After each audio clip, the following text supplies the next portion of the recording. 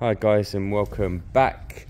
Um, we were researching Gary's bike last week because we still got bits of oil uh, coming up the bottom.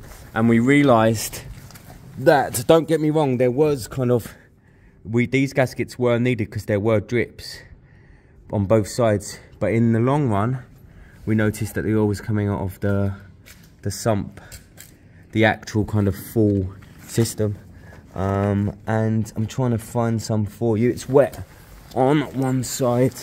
Let's have a look. Yeah, look, this side's quite wet. You can see how wet it is there, you see?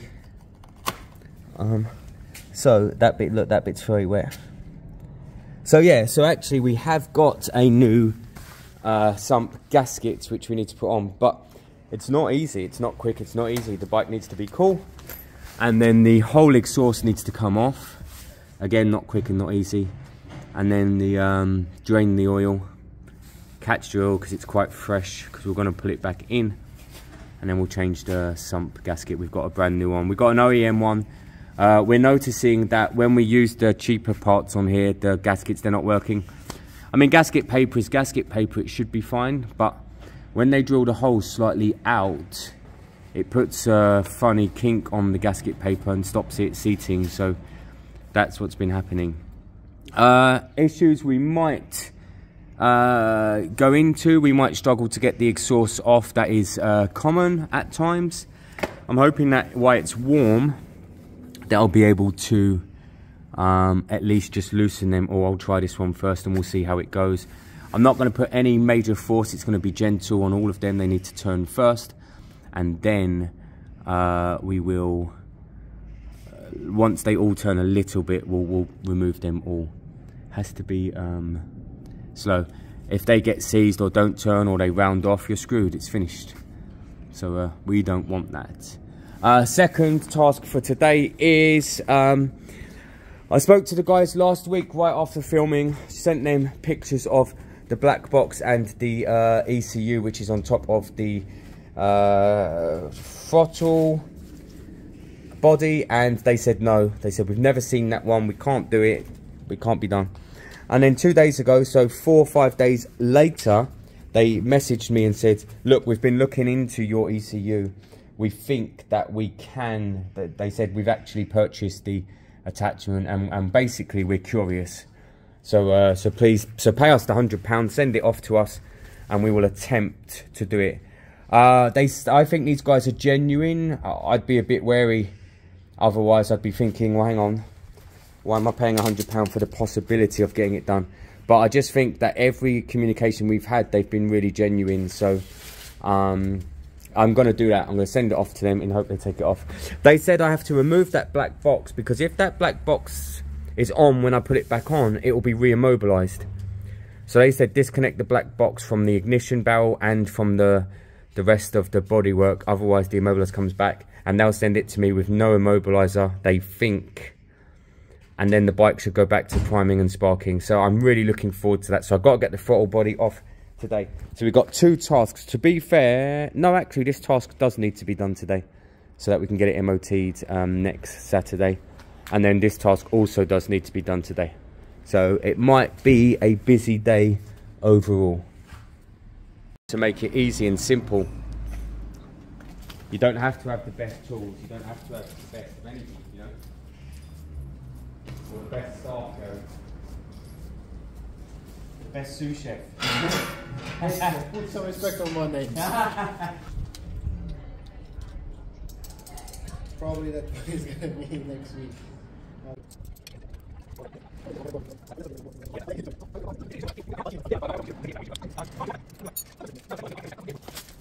Alright guys, just to catch you up, what you're seeing is um, partnered working really. Gary's at the back sorting out the brake.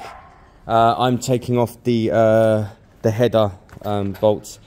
Yeah, as as you know, these things can be a nightmare, not just on this bike, on any bike. So getting them out every now and again is really important. If you haven't turned your header bolts for a few bolts for a few years, I strongly suggest you get out there, put a you know, get a turn in there and um, it wouldn't hurt to put a bit of WD or something similar. It will burn when you start the bike up, but um, it will burn off quite quickly.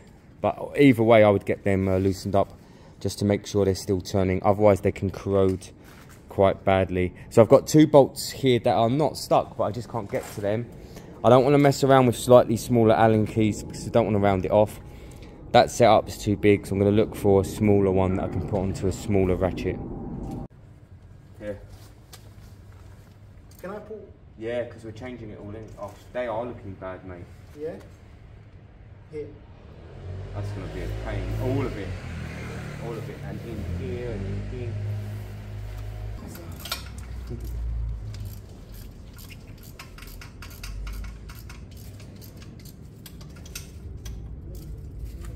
Right, Gary, drink. All right. It is an interesting. Yeah. Well, I guess it's big and bulky, isn't it? You know what you needed? You needed some of that Doctor Downpipe stuff now. What's that? Doctor Downpipe. It gives it a good clean. Goes back to a shine. Okay, let me think. So, it's upside down. That was good, quick maths. Make sure you're doing it the right way. Right tight, left loose. Unless you're upside down. this is where you hear that noise. Snap!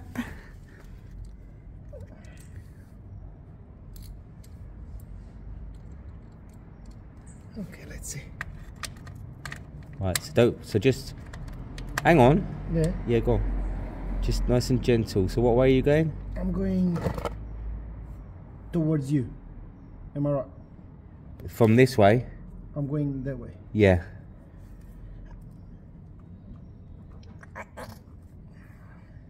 That's a funny noise. the amount of times Gary can't turn something and then I have to do it with my strength, even though he's a boxer.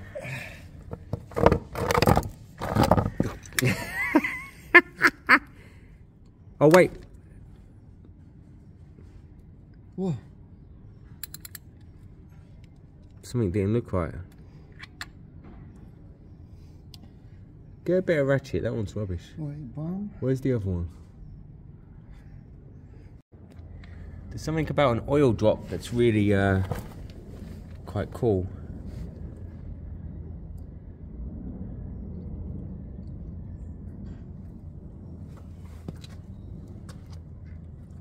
It's not coming out glittery, which is good. I mean, this engine's great anyway, isn't it? Best engine in the game. It's a very good engine, yeah. I saw a nice Suzuki SV the other day. Nice shape. You should try one. When Gary comes back, we've agreed that we're going to go to the motorcycle warehouse or somewhere and have a look at some bikes.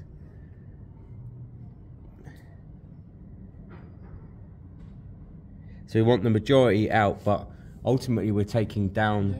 the sump. So when we open it, it's going to be Yeah. it's going to be really gunky. The good thing about that is that's a really thorough oil change if you because the gunk is thick, it's like mud. Yeah. So we can clean it all out fully, and you'll always only have fresh oil going through this bike from then on. You know, a good um, oil flush would normally do all of that. So just to show you what we're actually doing, Gary, where's the bung? Throw the bung back in. You're leaking all over my pristine floor. What we're actually doing is that we're taking this sump off here um, to put on a new gasket. Gasket? It looks it looks right to me. This is this side, isn't it? Is it? One, two, three. It's hard to tell.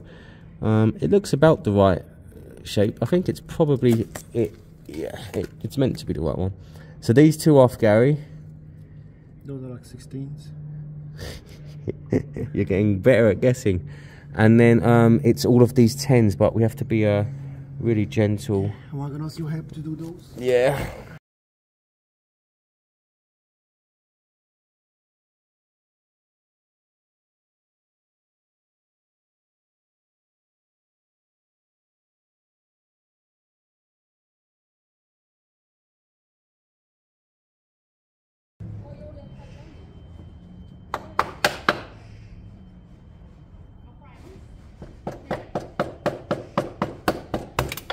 Yeah, got it, got it. Hey, look at that. Let's have a little look. This is where you find all the sludge. You know what? It's pretty clean. We change that quite often. in Yeah. this, You know. Yeah, yeah, yeah. We didn't have a chance to like, if that's such a, such a word, slush it up, slush up, slush up. It's clean. So what takes the most time is the um, gasket cleaning. Um, it's gone so hard and solid that it uh, it was a pain to clean. So Gary's still working on that. Using brake cleaner helps. Brake cleaner kind of softens it all up and loosens it all. Um, but you still have to scrape it really gently without nicking, nipping the um, the uh, metal. You don't want any notches in there, otherwise it won't seal. Uh, that's what Gary's working on. I was just messing over here with a bit of um, the turtle wax, uh, renew and refresh. There was this kind of misting here. It was all down here, and I think I've cut most of it away. But I think eventually I'll cut all of these panels properly. Like this one's quite bad. Look. So I'll cut it all fully, and then um, touch up any any areas like this with black before a, a good layer of wax. I think in the end, if this ever runs, it's going to be a really good looking bike. Okay, have a look now. Okay, so uh, gasket all done properly, all nice. We really spent a lot of time cleaning the uh, original gasket off because there's no point doing this if you're not going to. Uh, clean the downpipes a touch, just because we can. And uh, I'm going to finish it off tomorrow. So it's looking good. Brand new rear tyre. I don't know if I showed you that. Brand new rear tyre. Um, rear, rear brake pads done. Feel good. Yep. Uh, front brake pads to go on, but they're not needed for MOT, just for good practice. And um, that's it. So tomorrow I'll, I'll finish the oil cooler. I'll get the exhaust back on, and the um, I'll get uh, the oil back in, of course. And yeah, cool. And then on Saturday we'll get it an MOT and we'll go from there really. Well that's it. You'll be back on the road for a year gary. Ready to terrorize the nation again. Never. never